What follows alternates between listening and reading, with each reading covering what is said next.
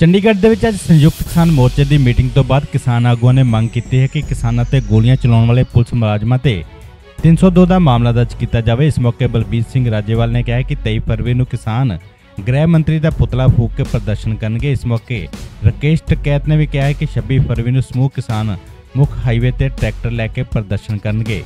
ਤਾਂ ਦੱਸ ਦਈਏ ਕਿ ਸੰਯੁਕਤ ਕਿਸਾਨ ਮੋਰਚਾ ਐਸਕੇਐਮ ਨੇ ਪੰਜਾਬ ਤੇ ਹਰਿਆਣਾ ਦਰਮਿਆਨ ਸ਼ੰਭੂ ਤੇ ਖਨੌਰੀ ਸਰਹੱਦੀ ਪੁਆਇੰਟਾਂ ਤੇ ਸਥਿਤੀ ਬਾਰੇ ਵਿਚਾਰ ਕਰਨ ਦੇ ਲਈ ਅੱਜ ਮੀਟਿੰਗ ਕੀਤੀ ਸੀ ਇਸ ਮੌਕੇ ਐਸਕੇਐਮ ਨੇ ਕਿਸਾਨ ਸ਼ੁਭਕਰਨ ਸਿੰਘ ਦੇ ਪਰਿਵਾਰਕ ਮੈਂਬਰਾਂ ਨੂੰ 1 ਕਰੋੜ ਰੁਪਏ ਦੇ ਮੁਆਵਜ਼ੇ ਦੀ ਰਾਸ਼ੀ ਦੇਣ ਦੀ ਵੀ ਮੰਗ ਕੀਤੀ ਹੈ ਵੀਰ ਸਾਥੀ ਅਮਰ ਰਹੇ ਅਮਰ ਰਹੇ ਅਮਰ ਰਹੇ ਵੀਰ ਸਾਥੀ ਅਮਰ ਰਹੇ ਅਮਰ ਰਹੇ ਅਮਰ ਰਹੇ ਵੀਰ ਸਾਥੀ ਅਮਰ ਰਹੇ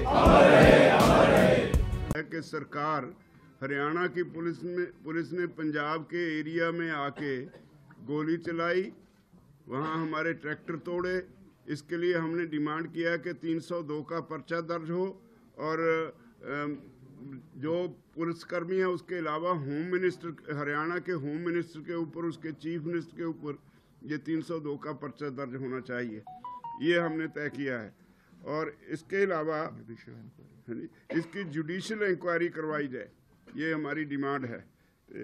लास्ट में करते हैं? फिर कॉम्पनसेशन कॉम्पनसेशन एक करोड़ रुपया का कॉम्पनसेशन हाँ कंपनसेशन एक करोड़ रुपए का कंपनसेशन वो भी हमने डिमांड किया है। इसके अलावा एक ये तय किया है कि 14 मार्च को हम सारे देश की एक बड़ी महापंचायत रामलीला मैदान दिल्ली में करेंगे 14 मार्च को। तो उसका फैसला किया सारे देश देश से किसान वहां दिल्ली पहुंचेंगे और 14 मार्च की रैली में शामिल होंगे इसके आगे अ, टिकैत साहब ਐਸਕੇਐਮ ਨੇ ਕੇਂਦਰ ਸਰਕਾਰ ਦੇ ਤਿੰਨ ਖੇਤੀਬਾੜੀ ਕਾਨੂੰਨਾਂ ਖਿਲਾਫ 2020-21 ਦੇ ਵਿੱਚ ਅੰਦੋਲਨ ਦੀ ਅਗਵਾਈ ਕੀਤੀ ਸੀ ਬਾਅਦ ਚ ਕਾਨੂੰਨ ਰੱਦ ਕਰ ਦਿੱਤੇ ਗਏ ਸਨ ਇਸ ਮੀਟਿੰਗ ਦੇ ਵਿੱਚ ਐਸਕੇਐਮ ਦੇ ਪੰਜਾਬ ਹਰਿਆਣਾ ਉੱਤਰ ਪ੍ਰਦੇਸ਼ ਪੱਛਮੀ ਬੰਗਾਲ ਤੇ ਹੋਰ ਰਾਜਾਂ ਤੋਂ ਕਈ ਆਗੂ ਪਹੁੰਚੇ ਹੋਏ ਸਨ ਬਿਊਰੋ ਰਿਪੋਰਟ ਪੰਜਾਬ ਟੁਡੇ